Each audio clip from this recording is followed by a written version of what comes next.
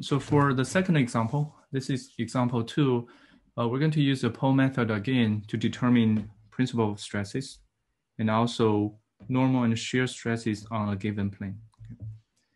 So for this example, we're given principal stress values actually 50 and 52 and 12.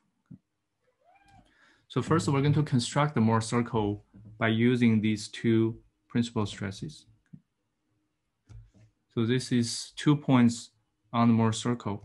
So these are the major and minor principal stresses. So we actually know sigma 1 is 52. That's the larger of the two. And sigma 3 is 12. Okay. So the principal stresses actually are provided to you. And then we can construct this Mohr circle. So this sigma 1 sigma 3. This should be sigma 3. Okay. So once you have the Mohr circle, and then for the pole method, again, two steps. So the first step is to locate the pole on this Mohr circle, which involves identifying this known point. Okay. And for this example, again, we have multiple options. I'm going to pick this plane here. Okay. So this plane CD, we know its stresses. So on plane CD,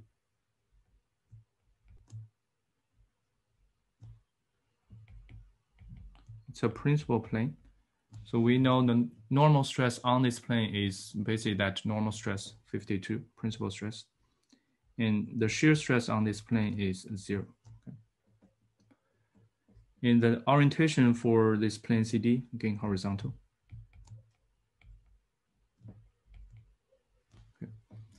And the corresponding point on the Mohr circle, normal stress of 52, that's the X value.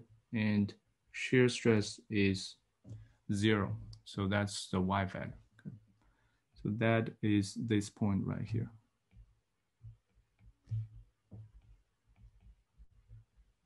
This is plane CD.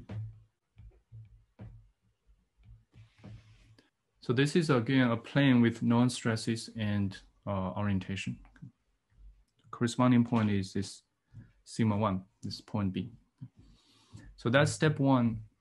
And then from this point, again, this is plane CD, okay. So from this point with known stresses, you draw a line parallel to that plane. Okay. So we know plane CD is horizontal. So I'm, going to draw a horizontal line. Okay. So this is parallel to plane D, CD. So I start from that point 52, 0 and draw a line parallel to the horizontal plane CD. And that intersection gives me the pole.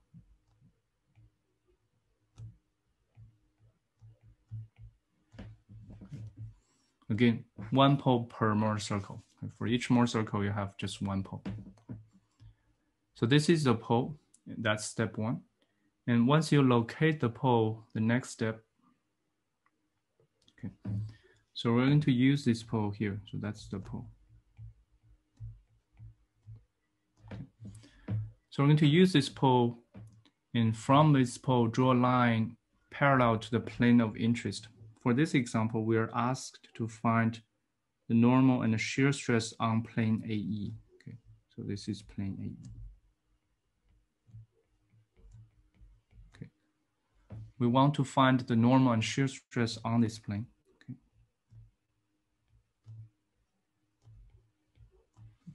So that's our plane of interest. It's 35 degree from horizontal direction. So I'm going to draw a line starting from the more uh, the pole. So that's 35 degrees from horizontal. So this line is parallel to plane AE.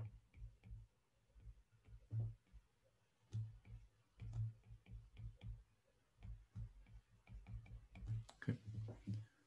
So this is that parallel line from the pole and it's going to intersect with the Mohr circle again. So that intersection gives the stresses on that plane A.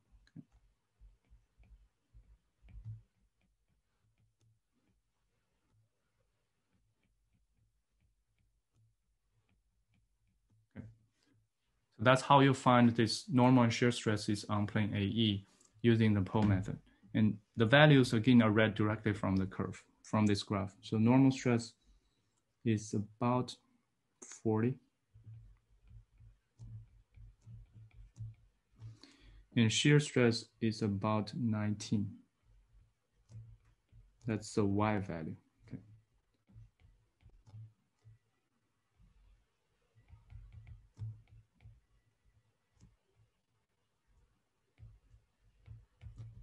and shear stress is y-axis value. Okay. Of that point.